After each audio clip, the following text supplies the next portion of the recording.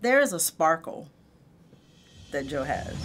I've seen Joe fall, but I've never seen him fail. I had to get to a point where I had to forgive him for all the things we went through. He said, Grandma, this is me directing my choir now. I must say we've been waiting to tell this story our entire lives.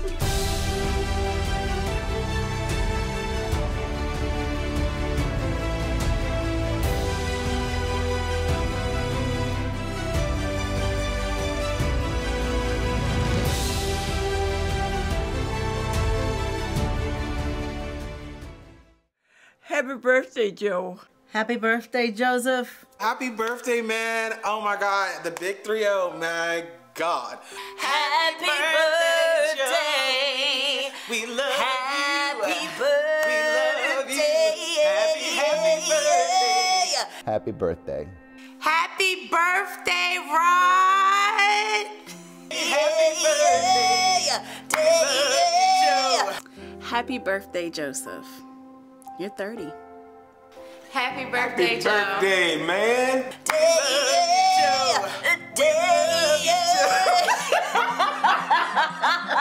we love you so much. Only you would understand what we just did.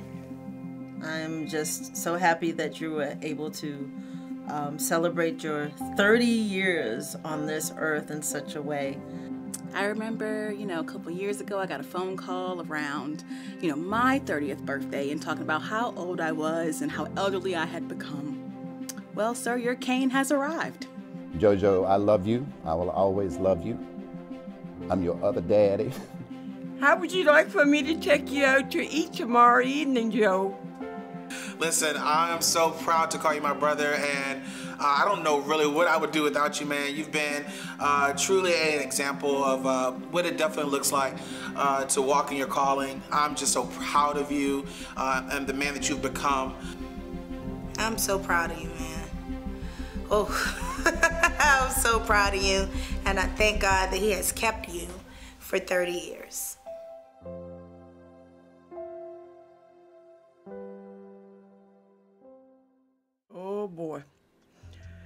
Raising Joe, at times, we would do fine.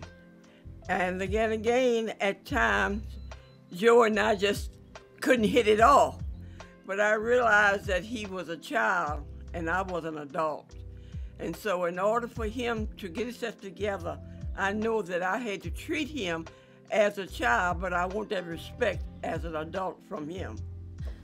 Being a mom to Joseph um, was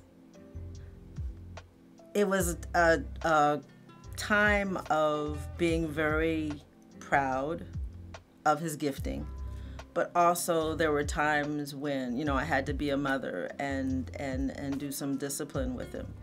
Is this a trick question? Um, okay, so growing up with Joseph um, was interesting.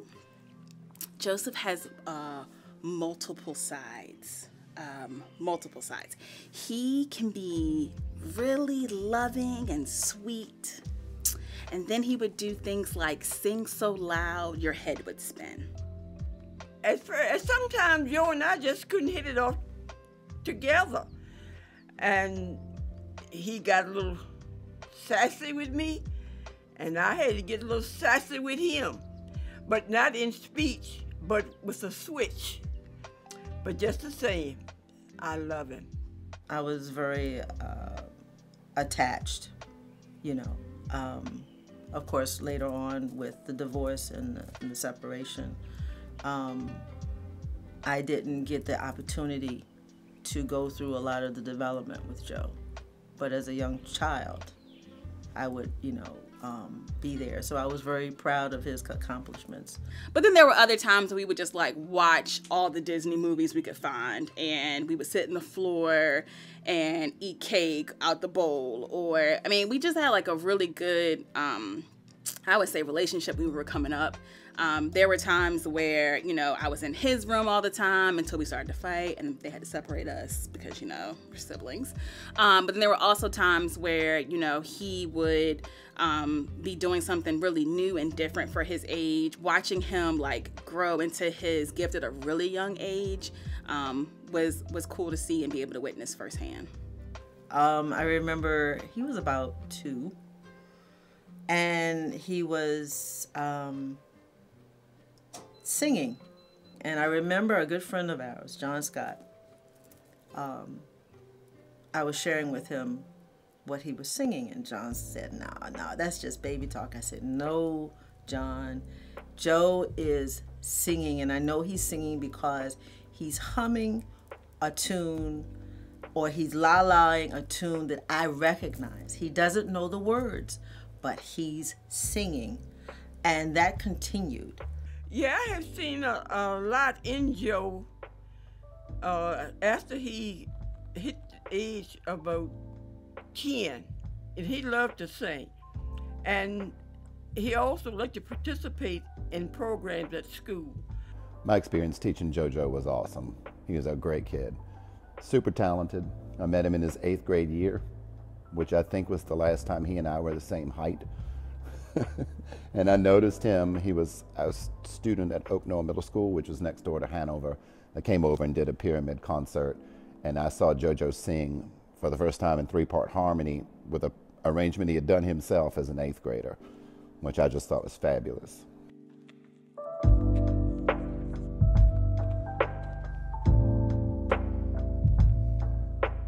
One thing that a lot of people don't know about Joe is that Joe has always wanted to do, wanted to be a director of some sort. He used to play with his um, his trucks and cars and align them as a choir. and he would be in his room or on the t- kitchen table directing them. I came to the kitchen one night that Joseph had all of them lined it up that was his choir. And he was directing it. He said, Grandma, this is me directing my choir now. I said, okay. And he would sit up in the kitchen there, just sing to the calls, and like he was directing them to sing back to him. That's one thing that a lot of people, most of his close friends know that, but a lot of people don't know that about Joe. JoJo was, he was speaking into his life since the age of five. he was gonna be a director, he was gonna be a coach of some sort, and that's just what it is. It's yeah. been in him forever. It's in there.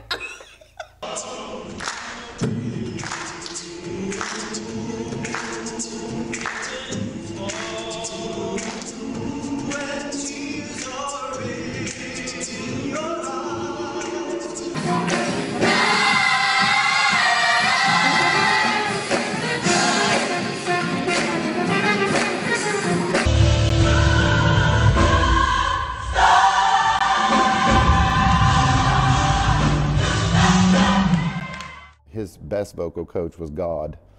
And then a lot of that talent comes from a gift from our Heavenly Father. I did obviously, you know, coach his voice. You know, I, especially back in those days, I taught mainly in the classical style. And so I've loved to be able to watch JoJo shift back and forth and be able to sing across the genres. I think my fondest memory of carrying him um, is sitting at the piano and playing worship and knowing that he could hear me. And that, that's that's the fondest memory I have of, of carrying my son. My fondest memory, I think, is a, is a pretty clear illustration of who JoJo is. So we were competing at the old Clover Hill High School. Um, it was show choir day, and we were in the finals. And the audience, as they always did, went wild when JoJo came onto the stage. and JoJo walked downstage and hushed them. and I think, I think that is JoJo to a T right there. If I could describe Joe in one word, it would be crazy. no, he's a loving guy. Yeah, definitely loving. Yeah. Tenacious, fierce, That's two. I'm going to break the rules. Joe is faithful. There's more than one word to describe, you know, Joseph. But I think the biggest word that I can think of is just that um, he's devoted. I would choose the word spectacular. Good answer. Good answer. What's your word? Uh, my word is shady. Very shady. Very. Good answer. Spectacularly Good answer. shady. Exactly. Okay, I gotta choose my words right. if I could describe Joe in one word, it would probably be grand. If I had to describe Joe in one word, I'd say grand as well. But I think um, to piggyback off of what Jessica's saying, like it's grand in, in all of the best ways. Even like on Resound social media and stuff like that, like anytime we want something that's gonna grab people's attention, we're like, Joe, make a post about this because he's gonna have 75 emojis to open up. He's gonna be like, alert, PSA, everyone beware. Rare. You've never met a soul like him before. It's very different. And I've never met anybody like him. He's like a breathing machine. It's but it's hard. Mm, inspiring. Growing up, we both um, grew up in very similar situations, um, and he could have gone left. Um, he took the things that hurt him or that were challenging, and he turned them into passion for um, and like his gift. He's nothing like your other friends. He'll be with you until the end. That's just his way. That's just the way he is. I would say so. When our parents divorced, I feel like that forced our relationship to be tighter. To be honest, and I want him to know this, um, I think differently as a mother, um, I would have had my children with me. And um, I want him to know that. I want Joe to know that. You know, that was the one thing that I would have done differently is um, to have always had them with me. After our parents divorced, I think it forced us to come together and be our support system for each other. There were a lot of nights where we just kind of um, were the only people who could understand what we were going through because we were both in it together. Um, even though he was younger, you know, helping him process his emotions was, I felt like a big part of my job. I think that was a defining moment for our relationship. We definitely just started to like depend on each other after that. I think I would have gotten the opportunity for them to really um, know me in that moment and for me to know them in that moment. Um, because the moments we have now are very precious, more precious than, than anything imaginable. But to miss out on those moments is the thing that I would have done differently so I could be in those moments with them. This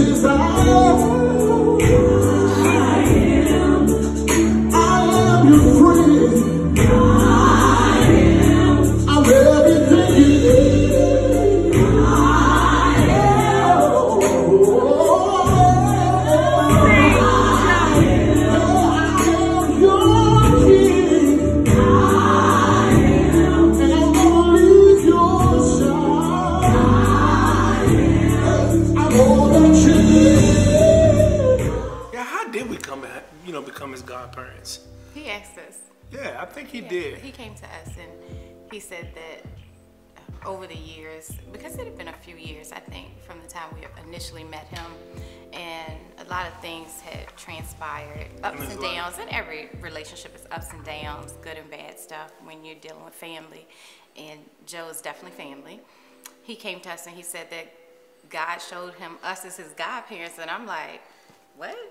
Like, is he really, is he serious? Like, at first I thought he was joking, but he takes it seriously to the point, like, I have other godchildren, but he makes it known they're not my real godchildren. like, he's my godson. Like, there are no other godsons. And I'm like, Joe, no.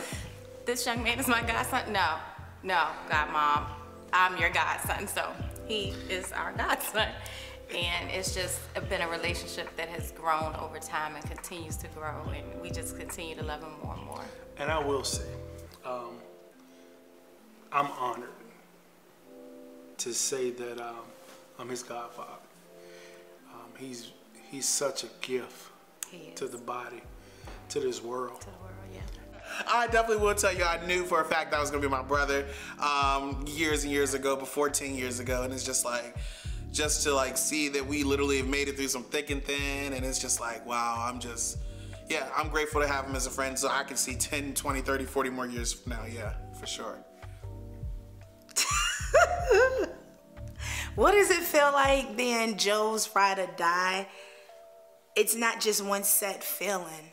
You can't just be like, oh, it feels good. It- It's it's cool. It's more than that. I, God knows, have seen life totally different, totally different from being his ride or die, his ride. I've seen Joe in so many different elements that a lot of people would naturally see, you know, and he's seen me in so many different elements, but just that he's a strong man. He is strong. I've seen Joe fall, but I've never seen him fail. I know he looks up to me like as a as a father figure, but the relationship I have with him, um, I didn't have that with any younger, you know, siblings. Yeah, so he brings he brings joy to know that I have somebody around me that I can talk to. I'm gonna say an area he helped me in. Let me let me do that. An area he helped me in is forgiveness. And I'm gonna be transparent on this one. We went through a phase with Joe where our relationship was a little rocky. And um, it it hurt me to my core because I couldn't understand like why is he being like this? Like why is he being so nasty? it was crazy because I'm like, this is supposed to be our you asked us to be your godparents and you know, now you're out here. But then I had to remind myself at that time how young he was. I didn't realize sometimes I forgot how young Joe was because of his gifts and how advanced they were. And I had to learn I had to get to a point where I had to forgive him for all the things we went through. And when we came back together, our relationship was actually stronger than before. And since that time, I think it's just, it, it's continued to grow. And we've continued to go deeper in our relationship with each other. And we built this trust um, that I think is unmatched. And I just, I thank God for it. It's something that I, I'm so grateful for. yeah. There are a lot of them. There are a lot of uh, proud moments. I think the uh, whenever he would get up and um, sing, I was extremely proud. But when he acknowledged where his gift came from, that it came from God, I was most proud of him. This season, This our season. proudest moment of Joe so far has been this season of his life. To see him chasing after his true dreams and desires has been amazing. and even those moments when he um, has may have hit a hard place and he learned a lesson and then he talks about going from one level of growth to another just to hear that conversation the conversations we've had um, that has been my proudest moment to see him mature from the young boy now to the 30 year old man Yeah, you know, as an entrepreneur myself, to see what he's doing, I'm so proud. Uh, and I'm, I, I, I really, really am proud of him yeah. because a lot of people are scared to do this. The thing that makes Joe different uh, than any of my other friends, it would have to just be um, the brotherhood that I have with him. Like, um, he's probably the only person that I can truly say. Uh, he's been there for moments that probably, um, yeah, they've been there for moments that no one else has been there for. You know, uh, when I lost my grandmother, uh, he was the person I could call on. When you go through certain things in life, you just know, start knowing for a fact, hey, this is just somebody who's forever. So yeah, for sure, that definitely made a difference for me. Yeah, I've known Joe for so long, and it's like I've kind of seen him grow through different stages of his life, but I think for his entire life that I've seen, Joe is really funny. And I think people see him in these professional settings and see him, you know, teaching, leading and stuff like that. And he has a good poker face, but when I tell you, he's just really funny. Like from the stories he tells to the jokes he makes, like, and just some of the ways that he sees things, it's Mhm. just, it's only only Joseph Bernard Clarke could, Only him. could see things this way. And I just love it. I'm out of breath, so I had to like calm myself down. He's like channeling his ancestors. dissecting songs of mm-hmm, dis, mm, di, mm-hmm, yep, a dot, a dot.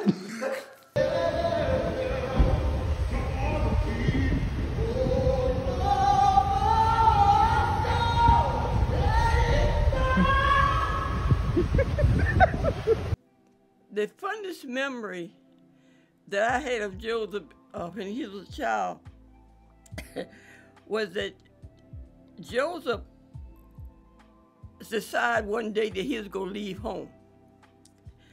So he goes across the field. So I said, Where is that child going? He, I called him. He didn't look back. He didn't say anything. So nothing for me to do but hop in my car and go and overtake him. Most embarrassing moment number one. We grandma was like, we were walking around the house as usual on a Saturday or something like that, and like Joseph has this thing where he sings really loud. I mean, you've heard him; he's loud.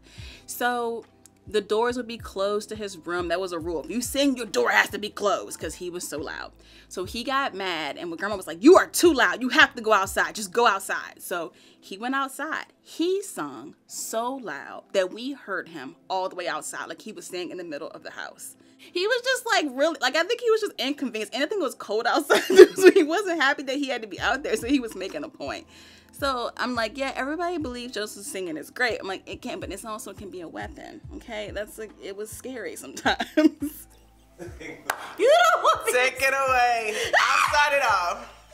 Our, you said fail moments.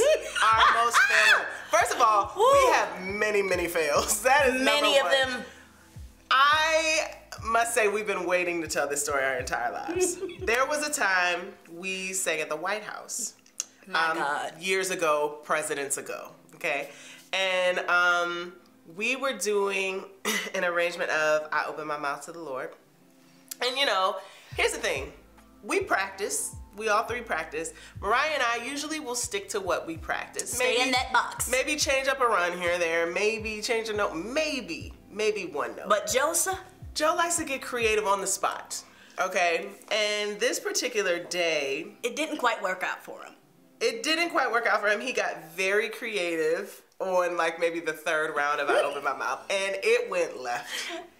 It went left. We were singing a cappella. A cappella. And everybody was staring And all three of us were laughing at this point. We couldn't. Now, he was like, I opened no- my mouth to the Lord, and I won't. We were like, literally, we couldn't contain ourselves. Nobody was singing. I know that the people were like, They, they started walking off. It just, you know, wasn't the best time in my career. I will say JoJo is he's very good at improvising. Usually 99% of the time it works out in his favor. He tries new things and just goes for it and it's great. Absolutely. But that 1%, that 1%. I mean, when it's bad, it's bad. day. I'd be like, Joe, I, we didn't practice this.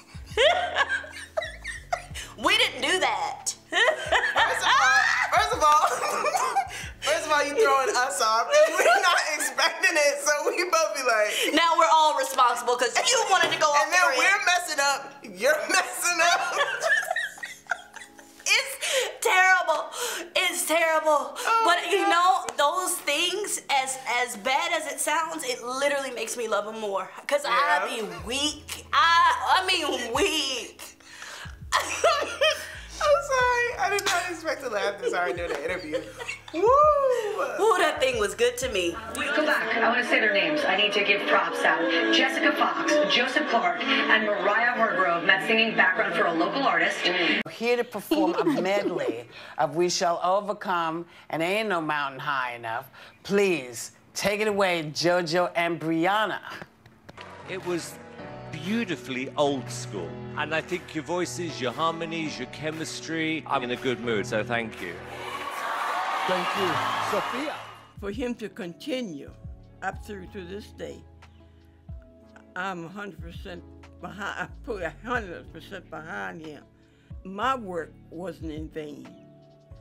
That by helping him to climb the ladder best that I could, I just feel so good for him. I'm very proud of Joe. Very proud of him. There is a sparkle that Joe has, you know, in his smile, um, the way he greets people. He doesn't, he may not know you at all upon first meeting, but the way he approaches you is as if he's always known you because it's like there's an openness with him. I've, I mean, I've just seen him in so many different realms of just life in general. Even when he was a kid, like growing up directing choirs, he always had a love just for people and just for uh, really just trying to bring people out of the dark space. And he's always been that person. It's just something that's just always been on him. Yeah. I think when people hear gift, they automatically hear think Joe and think singing, but it's so much more than that. He's a writer. He's a, an arranger. But outside of music, he's an encourager. And I don't think he sees that. But that he's people, a preacher. people watch his life and they are encouraged by the things that he does. He's so transparent. Like he's gotten to a point in his life where he can be so transparent and naked before people that it doesn't bother him. But I don't think he realizes how many people get delivered from that. Mm, so many things to love about Joe. I have to choose one. okay, um, sometimes he'll look at something, he might not say anything, he doesn't need this big grand thank you or anything, but he'll see a need and be like, I got you, and do it on the back end. You know, I, you never have to ask. Like he's, if he sees the need and he can help, like he'll do it. The most that I would ever hope for him and that I hope for everyone is that he's happy and that music always continues to shape his life and the lives of others because he is so good at it and because he is so authentic that he always knows the power his singing and his and his artistry have over others. Yeah. So Joe's legacy, if I if I had to choose a legacy for Joe, it would be music. Just plain and simple music. Because he's a writer, he's an arranger, he's a singer, amazing vocalist, amazing vocalist, director, and he has the ability to pull gifts out of people through his vocal coaching, just through his encouraging in general. And some of the people that he's coached, like I have heard them, and when he's done with them, I'm just like, is that the same person? Like, what? You can help me sing too? And he tells me no, but you know. Good. Let's go to Ray.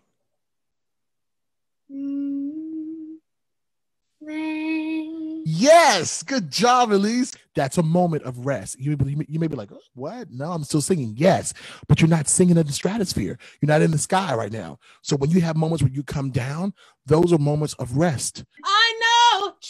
Open it up. I know. Open up. I know. There we go. There we go. There we go.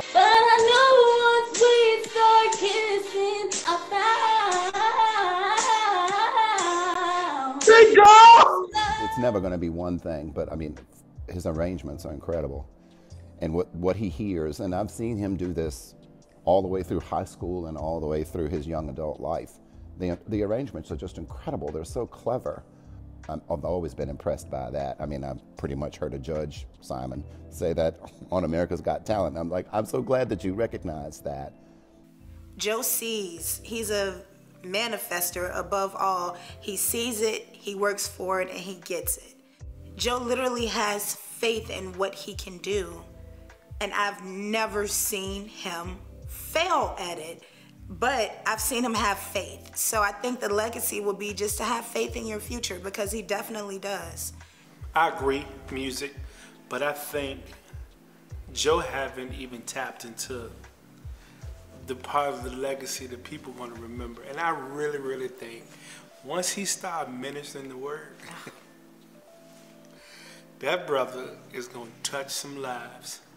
and uh, I'm waiting for it. Maybe that'll be his legacy, a prophetic psalmist. There we Yeah, so it's all. We, up we're gonna mix it together because I want my answer to be right. So, JoJo, don't stop. Keep pursuing. Please be resilient. Keep your faith and find what it is that you're looking for.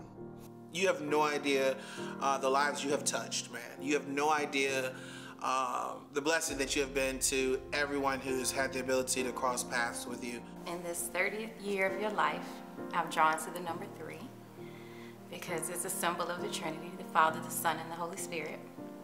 And I want you to remember that as you journey through this next phase of your life, that the Trinity is always with you. Joe, thank you.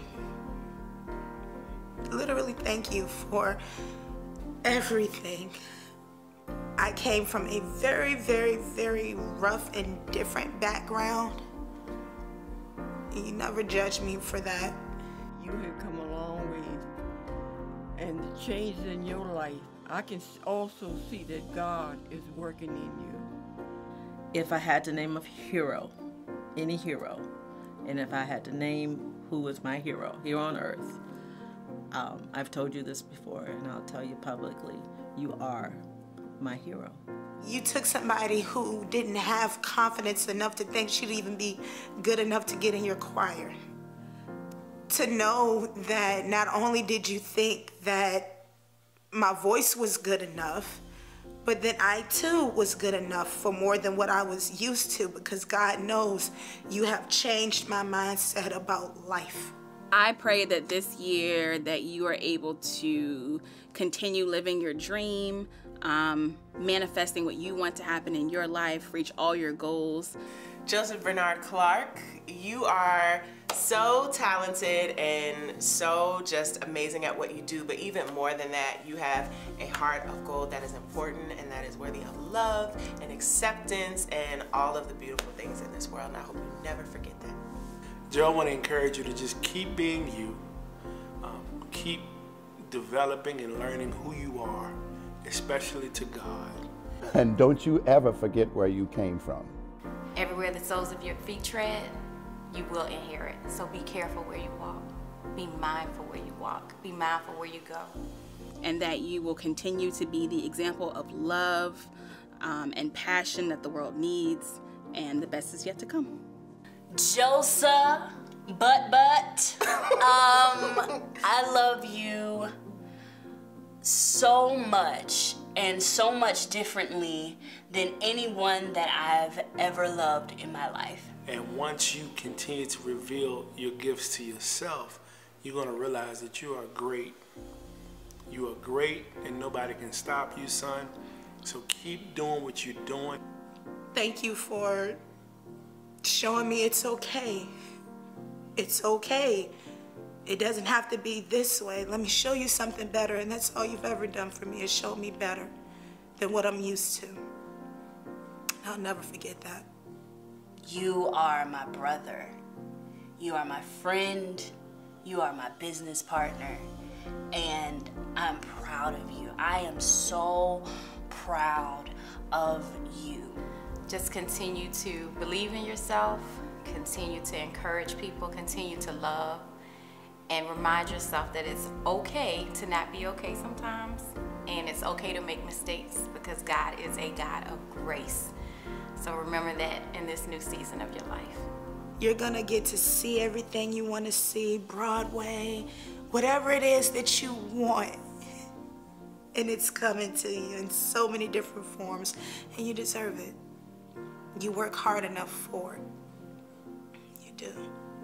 Happy birthday. I love you. Love you, son. I love you.